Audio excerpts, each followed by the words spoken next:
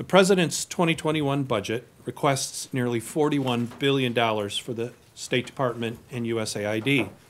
With these funds, we will protect our citizens at home and abroad and advance Americans, America's interests and the values of prosperity, freedom, and peace in coordination with our allies and partners around the world. First and foremost, this budget invests in our people to ensure the State Department and USAID grow and retain a talented global diplomatic and development workforce. Critical to our ability to effectively inform and execute the President's foreign policy objectives is a well-trained task workforce guided by the Secretary's ethos and the Department's standards of integrity and respect.